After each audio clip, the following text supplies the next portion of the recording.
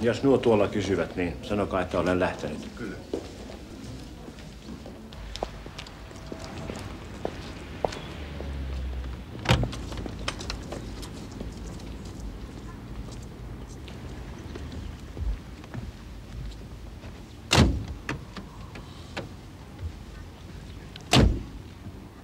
Tiedättekö Lepaan kartanon?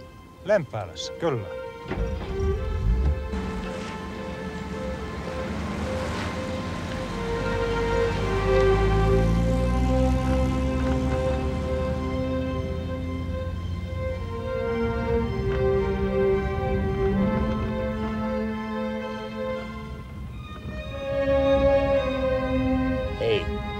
Pysähdytään tuon kujan päähän.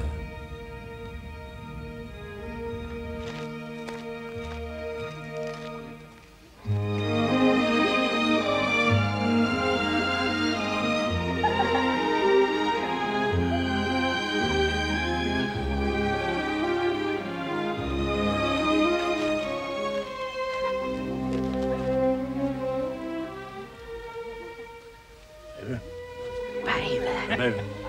Kuinka se kirjailija näin myöhään? Niin.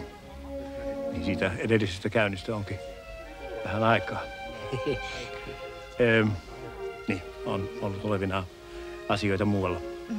Niin. Öm, onko talon emäntä? Kyllä Anna äsken tuosta pääovesta meni. Luulisin hänen olevan ruokasalin puolessa.